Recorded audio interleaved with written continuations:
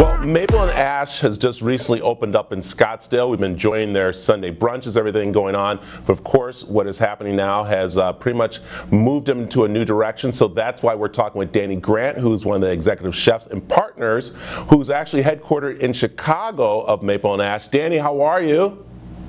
I'm doing well with all things considered. Yeah, you know, this is interesting that um, everybody has had to uh, make adjustments in their restaurants, and, and you guys being so popular here in Arizona really has decided to do some different things, haven't you? Yeah, well, our number one goal was obviously we want to be able to feed the people of Scottsdale and Phoenix, and we want to be able to figure out a way to um, keep our business alive and keep as many of our employees employed and making money so they can keep their livelihood and pay their rent and eat and all those good things that people need to do. Yeah, you're in the Chicago headquarters right now, and you guys have actually gone to a lockdown. But how, how is things affecting you with the restaurant there? Um, so yeah, I'm in Chicago right now. We're on a complete lockdown out here. Um, we've transitioned all of our business to um, curbside pickup and delivery um, service as well. And um, one of the things that we thought was going to be really important to be able to drive revenue in business and to be able to support a lot of people was we came up with an idea to do a dollar for dollar um, purchase and exchange.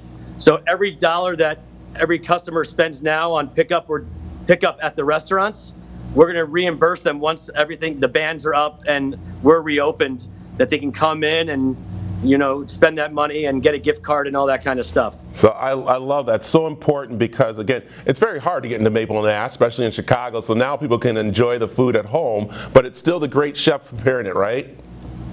Yeah, that's right. It's like we're it's like we're making a little trip to your house for you. So I love it. Can you uh, go to the window right now? Because again, uh, the, people have to look out your window here at your corporate office because usually this is, I mean, gridlocked. It, what street is that? So this is uh, State Street and Maple Street and Rush. It's a uh, it's called the Gold Coast, and this area is normally just absolutely slammed with people, and right now it's just a ghost town. So wow. Let me ask you, how are you doing? Because I know again you've been opening up a new restaurant, and that can be very stressful. And now with this going on, but how are you personally doing? I personally am doing great. Um, I think it's one of those things in our industry of our nature and our DNA is that when we find these hard times and these difficult obstacles, that we get creative and find ways to overcome them. Um, so that's kind of the approach that we've been taking. And I think, you know, for my whole life, I've been cooking for fun and because I enjoy to cook. And it's finally at the point where I'm cooking because we have to.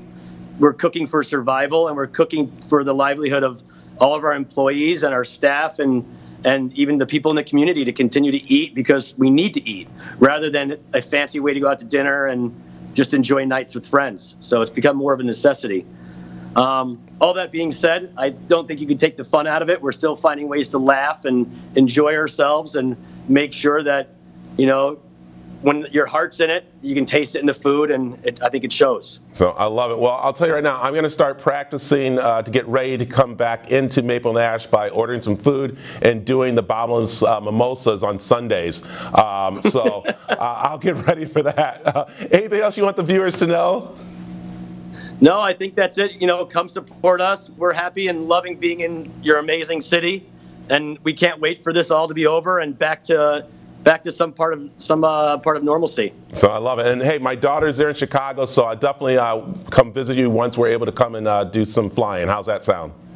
Perfect. We'll feed your daughter here, and then we'll feed you out in Scottsdale. So that's a, that's a deal. I love it. Thanks, Danny. All right, guys. Thank you so much. See you soon.